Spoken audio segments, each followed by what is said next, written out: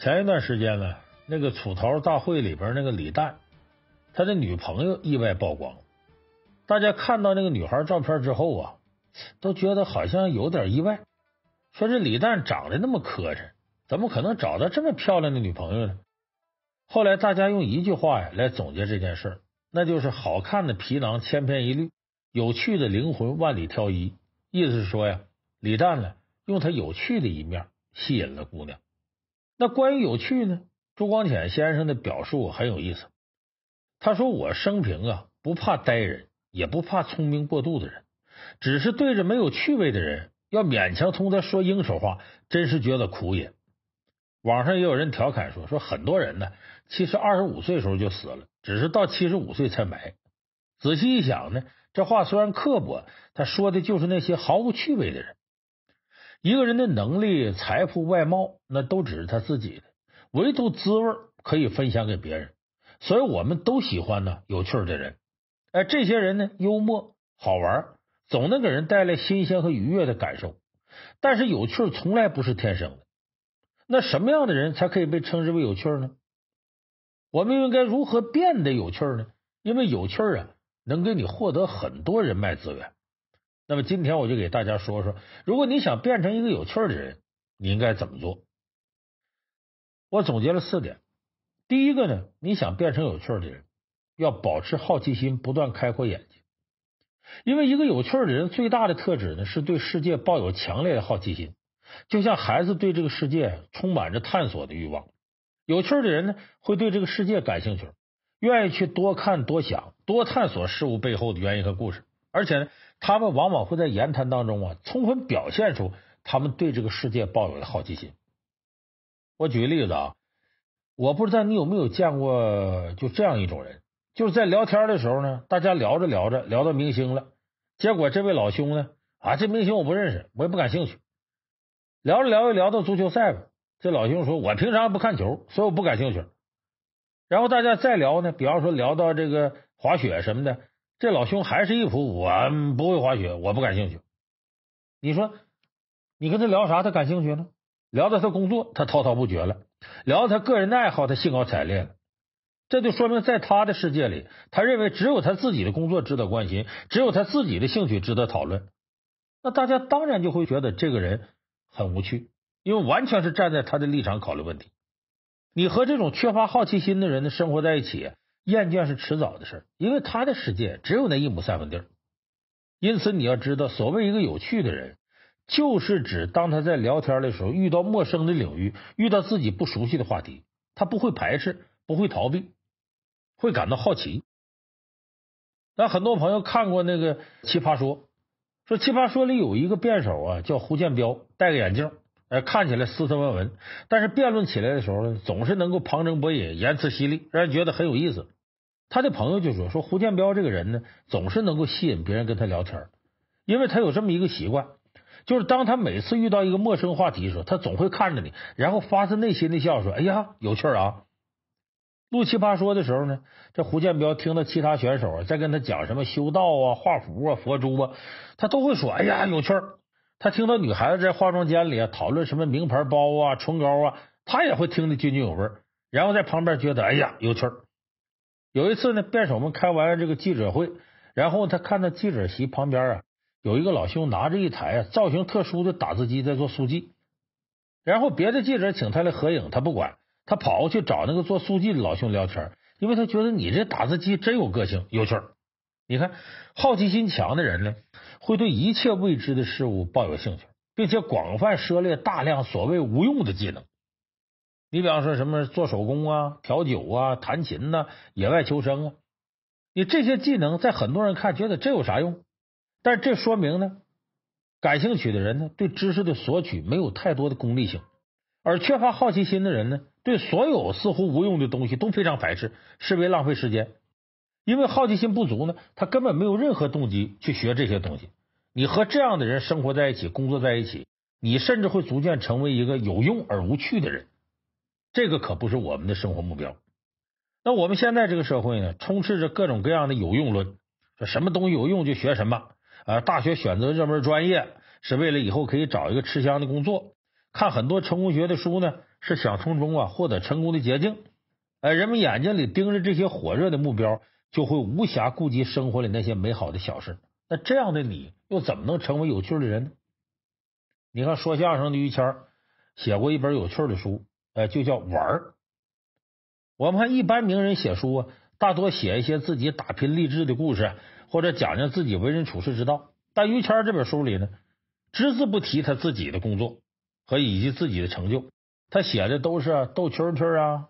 比方说，这个养鸟啊，呃，养各种宠物啊，盘手串啊，喝酒啊等等，哎，这些于谦感兴趣的，他觉得这是人生真正的好东西，有味道。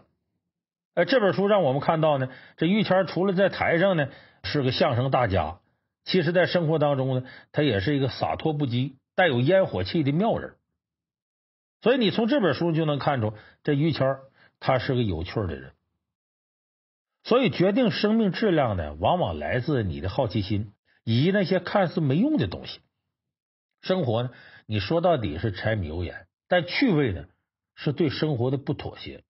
哎，你永远保持多一点好奇心，愿意探索世界多一点，打开内心多一点，你就不会固步自封，就会离真正的有趣更进一步。所以，想成为有趣的人，第一步，你要拥有对这个世界的好奇心。第二个呢，你还要有广泛的知识储备。有些人误解了有趣，认为有趣呢就是没事讲讲笑话或者浅薄的荤段子。其实不是，一个有趣的人呢，肚子里得有墨水，得有广博的知识。如果一个人拥有很多学识，他对事物往往就会有很多有趣的解读，不偏激，不浅薄，广阔包容，海纳百川。清朝呢，有位文学家沈复，他写的《浮生六记》里边就写到了沈复自己的妻子陈云。这个陈云呢，被林语堂称为中国文学史上最可爱的女人。你看《浮生六记》，你就能感觉到沈复和陈云这对小夫妻太有意思了。他生活里边那些点滴趣味，我们读起来都会发出会心的这种微笑。他老婆陈云呢，和传统意义上的古代女子最为不同的一点就是呢，她是个知识女青年。这个陈云自小聪明，学说话时候呢，听讲一半皮不行就能背，然后就识字。在这个女子无才就是德的年代啊，她自学诗词，把平常女子不敢想也不敢做的事她通通做了个遍。而沈复呢，是个文学家，在那个年代呢，陈云是个与沈复旗鼓相当的女人，两个人在一块儿一起聊文学啊，有来有往，相当精彩。所以这沈复呢，爱这个陈云爱的很痴迷，正是因为陈云的有趣儿。这种有趣儿呢，来自知识，来自涵养，还来自超出同时代女子的格局。所以有趣呢，就是一定要有的聊。想要有的聊啊，那就得靠一定量的知识储备，才能随时讲出有料的东西。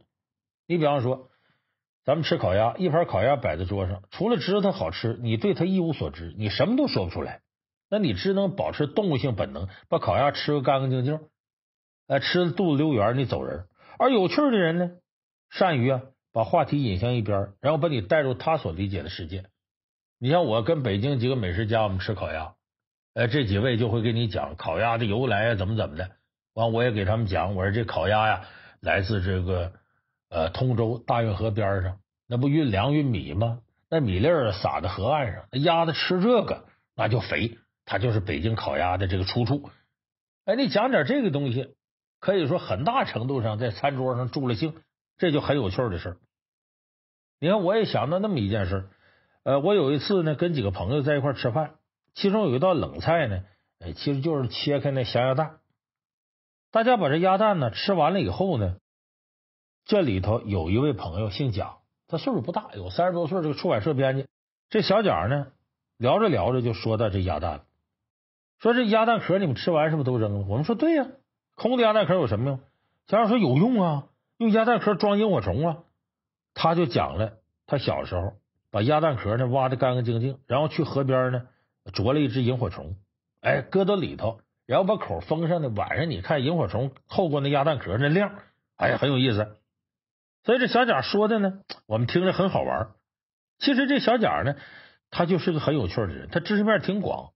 平常呢，他在出版社工作呢，他对文学、历史各个方面比一般人掌握的多，而且他一点不保守，对眼下的网络上这些热词啊，也是如数家珍。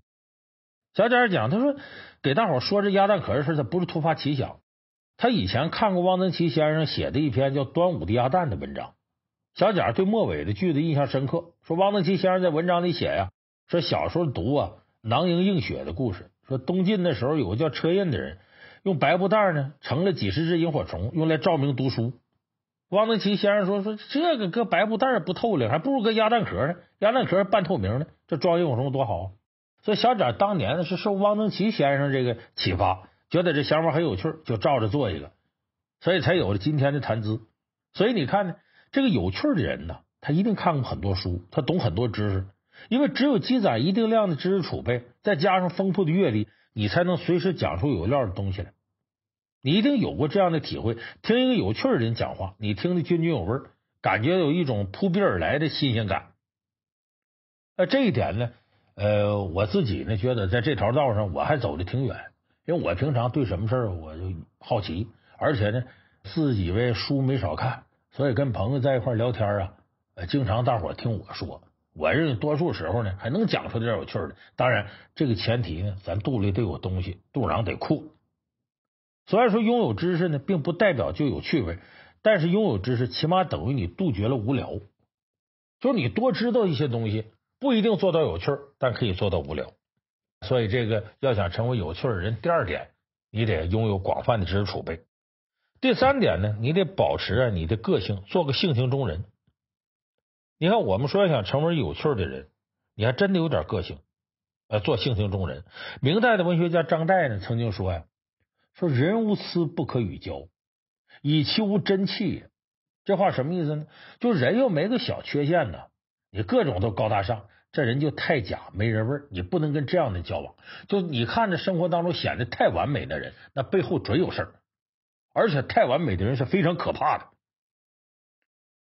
我想很多的这个小女孩心中啊，都会有个男神。那你觉得男神什么时候是有趣的呢？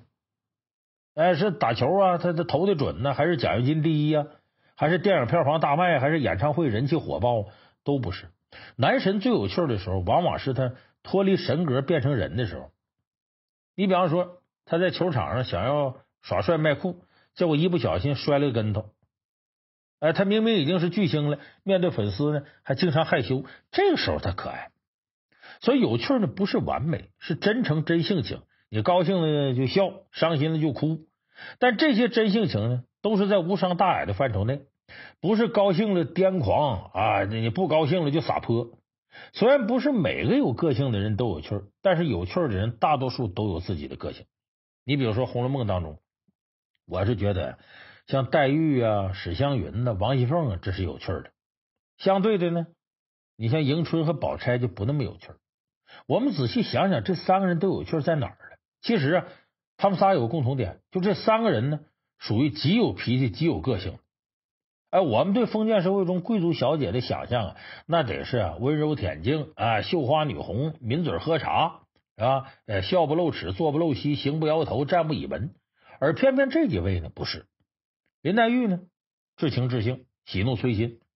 哎，她是大观园里边所谓的嘴比较贱的段子手。哎，她嘲笑湘云爱咬舌，叫宝玉是二哥哥。哎，调皮的把刘姥姥叫成母蝗虫，还拿呆雁呢和宝玉相比。他喜爱文学，独创了葬花吟诗的玩法，哎，却始终鄙视八股功名的虚伪，所以他大胆的陪宝玉看《西厢记》，最终呢，他逢稿断痴情，表达了自己呀，呃，对黑暗现实的最后反抗。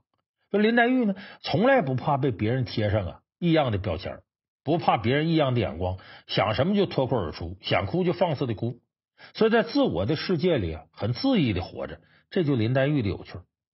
那么史湘云呢？性格爽直豪迈，哎，喝酒吃肉，还吟诗作对，喝醉了就躺在大石头上睡觉，完全没有大家闺秀的样子。他高兴起来呢，就没昼没夜的高谈阔论啊，被其他姐妹批评不守本分，不像个女人家。王一凤就更不用说了，嘴快人爽的，遇事看不过眼就骂人，甚至还动手打人。这些形象呢，跟我们原来想的很不一样。哎，他们呢不再是高高在上的王府小姐，反而是那些暴露出来小个性，甚至是缺点的，哎，让我们觉得很有趣的人。而那个温柔恬静、善于女红的二木头迎春，为什么他外号二木头呢？这个人很无趣。你等那个端庄大方、办事滴水不漏、近乎完人的薛宝钗，也总让我们觉得这个差点意思。因为他们的一举一动啊，都在意料之中，给我们毫无惊喜。而有趣的人呢，活得直抒胸臆、率性而为，才会让人觉得这个人他是有血有肉的。听到这儿呢，呃，咱们再举个例子啊，就说现在已经九十四岁的这个黄永玉老先生，这老先生在美术、文学、雕刻、建筑等领域都有不凡成就，是个大艺术家。你看，我们很多人可能以为黄永玉一定是那种德高望重型的，那你错了。黄永玉是个放荡不羁、我行我素、有才有趣的老头。他的有趣呢，从他给自己的画作上。呃，添加的注解就能看出来。他画一只红红绿绿的鹦鹉，他写什么注解呢？鸟是好鸟，就是话多。他画亚当跟夏娃，他就写夏娃问亚当：“那蛇哪去了？”伊甸园里那蛇，亚当说：“让广东人捉去泡酒了。”哎，画鸡兔同笼，他就写着：“咱俩永远是数学问题吗？”哎，黄永玉呢，被称为国画界的高级段子手。黄永玉的朋友们都说呀：“说这老头是个性情中人。”高兴时什么都好，不高兴时什么都不好。在性格方面呢，黄永玉的刁蛮爽直、敢作敢为，让不少人都畏他三分，也敬他三分。同时，这样的性格呢，让他变成一个特别有趣的老头。黄永玉的有趣呢，有一些别人笑我太疯癫，我笑别人看不穿的味道。当年呢，这已经过世了，香港四大才子之一的黄沾，呃，就是写《射雕英雄传》这些歌歌词那个啊，他有一年呢，四面楚歌。公司破产了，自个儿还失恋了，负债累累，无家可归。很多人都躲着黄沾走，只有黄永玉呢，提了两瓶酒啊，去看他，安慰他说：“失恋算个屁！你要懂得失恋后的失意。”黄沾一听，火冒三丈，大骂：“放狗屁！我难过的都想死了，还失忆。”许多年以后，有人拿这事向黄沾求证，黄沾说完全属实。他说：“当时全香港的人都希望我死，只有他来安慰我。”最后呢，两个人成了至交好友。黄沾还给黄永玉写了几句词，这么写的：“说你眉飞色舞千千样，你是个妙人，是个少年狂。”你看，这也奇了怪了。黄永玉的性格爽直，是见谁怼谁，但是大家还是那么爱他。二零一五年的时候呢，六十一岁的林青霞去见九十一岁的黄永玉，想问问黄永玉写作方面的事。黄永玉一见林青霞就怼他说：“说你不好玩，你没过去好玩，你得做个野孩子。”后来林青霞呢参加了真人秀《女神来了》，在里面呢，她承认自己确实受了黄永玉那句说“我想把你变成野孩子”这句话，她才决定来参加节目，解放自己。你看，多年来呢，黄永玉一直保持他的个性，算得上潇洒恣意，说话随心。有人说他炒作，有人说他不正经，说他为老不尊。黄永玉回了一句非常有意思的话，他说：“世人笑我太疯癫，我笑世人不好玩。”他八十岁那年呢，还登上了时尚杂志《时尚先生》的封面，成了有史以来最老的时尚先生。所以我们很难想象一个人呢，到了八十多岁还能被评为时尚先生。那这个时尚对于他来说，早已不是去追赶潮流，而是坚持自己鲜明的个性。一辈子鲜活，一辈子有趣儿，这是对黄永玉最恰当的形容。有趣的人之所以有趣啊，是因为他们对于自己的脾性啊有所坚持。他们不允许自己变成了庸俗虚伪的人，变成特中庸的人，所以他无论经历了多少波澜起伏，有趣的人始终不会被生活把棱角给磨平了，反而会保留一份真性情。这叫时光变迁，初心不改。所以我说，第三个，保持自己的个性，成为有趣的人。第四个呢，你还得拥有幽默自嘲的心态。就幽默呢，其实是我们看待世界的一种方式。我们自己具备了幽默世界的能力。你才能从生活当中获取一些趣味，而自嘲呢是高级幽默的一种，因为自嘲呢，第一个显得谦虚，第二个不会伤及无辜。有趣的人，他们说话的时候呢，从来都是把说出的话当做标枪，这标枪投到哪？投到自个儿身上，先打自己身上的鬼。而当你学会自嘲的时候，你就可以啊，把被动转化为主动，自己既显得不尴尬，也能拉近你跟别人距离。你比方说，当年王小波跟李银河俩人刚在一块的时候。李银河因为王小波呀长得很丑，还跟他分过一次手。王小波的长相呢，曾是横跨在李银河心里过不去的坎儿。但是王小波呢，常常用自嘲自黑，哎，来博取李银河一笑。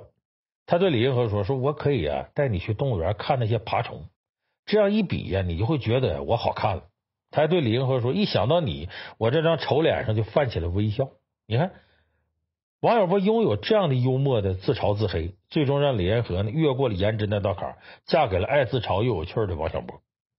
而这样的人呢，现在还有很多。你比方说，这个大伙熟悉高晓松，高晓松呢就经常在微博上啊晒一堆对世界充满恶意的自拍照，咱很多网友都熟悉。他那自拍照确实够难看的了。哎，他发这照片还很幽默的黑自己，说自己是矮大紧。哎，可是这种自嘲的劲头呢，也没影响高晓松的事业，反而给他吸引了一批粉丝。这些粉丝在评论区里纷纷高呼高晓松是男神。你看，这就是自嘲的力量。他自黑之后呢，不但没招人讨厌，反而让很多人觉得，哎呦，原来这高胖子还有这一面，他这么有趣啊！所以，适当的幽默与自嘲呢，能让人心生好感。中国人呢，一般都比较好面子。不蒸馒头都得蒸个面，所以很多人呢不敢自嘲，无非是觉得丢脸。其实恰恰相反，你趁着别人还没说出来那话之前，你自己先黑自己一把，既表达了自己的人性，也愉悦了别人。